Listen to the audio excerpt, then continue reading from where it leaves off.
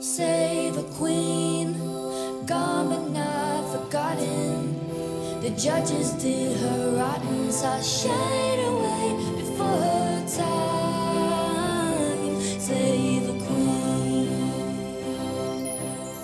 Poor Tempest DuJour. They send her off to Shady Pines. You could find her in the bingo hall inserting laxatives in her behind. she lost all that weight in her prime. She was tight. Now she's eating applesauce with her friend Betty White. Tempest DuJour was a cat in a hat who got told she was old by a whole bearded rat. She had things to say because the bitch was so whack, but then got outdanced and she fell to the back. Now her nurse is her only fan. Even her kids don't want to follow an ancient man. She's old and saggy like rotten fruit. I guess it wasn't just that nude bodysuit. Tempest DuJour. People say that she's done. She's so old, her social security number is one. If she were to fall, 911 gets the call.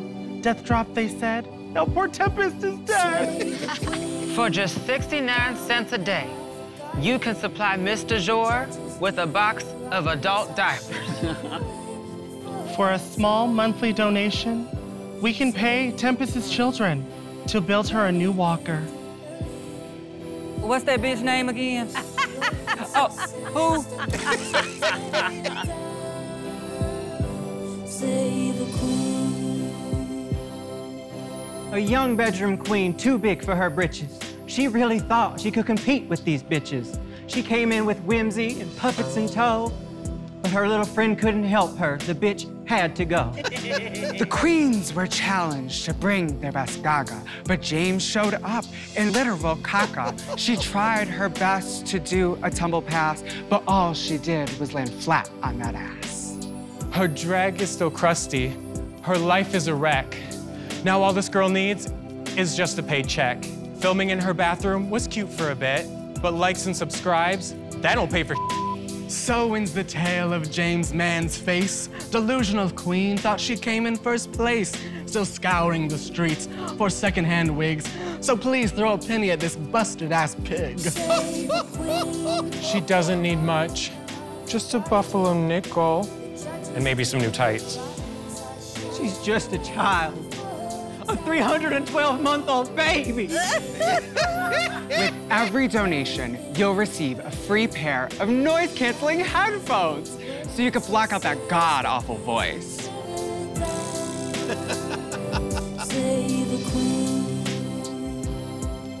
Kahmora hails from the Windy City. Little did she know her tale would soon get the strongest earlobes in all the race. But we saw how fast that she painted her face. She's a legend. She's a star. But she's back to tip spots at her local bar. Every queen has their day. But there was just one line she couldn't quite say. She said, I was rooting for us. I mean, damn. She even patted her bust. Her time came and went, and it was all gone in a flash. So reach into your pockets and give her some cash.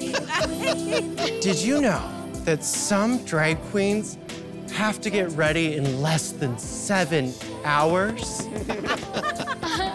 Every five minutes, a drag queen develops elephantitis in her earlobes. Somewhere, right now, there's a poor little drag queen crying in Untucked because, well, she's safe again this week. Still going on? Hey, a queen. Her only fans ain't popping. And all her pads are rotten. Her meet and greets are empty lines. Save a queen. Call now and donate just an hour of your time so we could give her the attention she needs. When we reach our donation goal, we'll do these tired queens the ultimate service of putting them to sleep. For good. You can sponsor a drag queen like Kahmora. By donating a sensible 74 cents. That way she can buy a watch. Save a queen. Hi, I'm Sarah McLachlan. And this is wrong on so many levels.